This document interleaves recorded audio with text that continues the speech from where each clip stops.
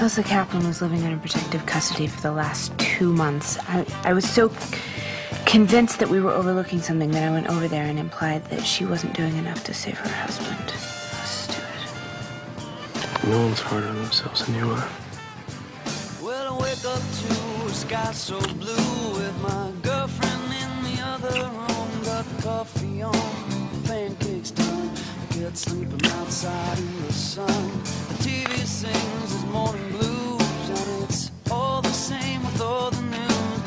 But she walks up, smiles, kisses me, and says your coffee's done. Starts singing. Yeah, yeah,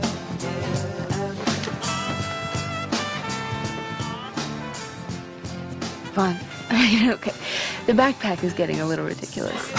What do you mean?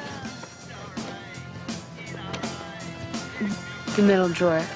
It's yours.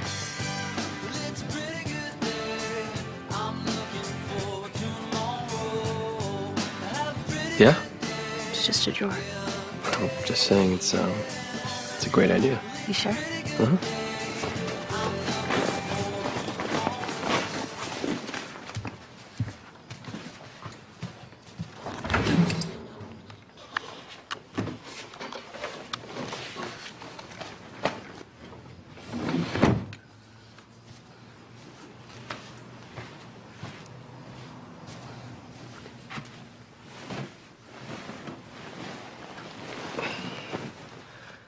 I love my drawer.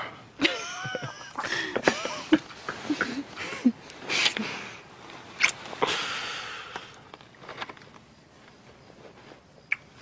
we're gonna keep working, I need to go make a sandwich.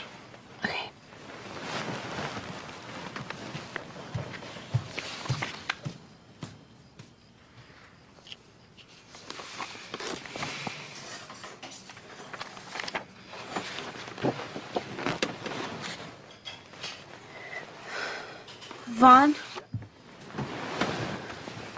There were three calls made from the same number to Kaplan's house over the last year.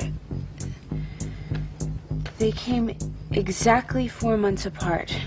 They were all made on a Monday night at the same time, and they all lasted one minute. Where did the calls come from? I need to talk to you.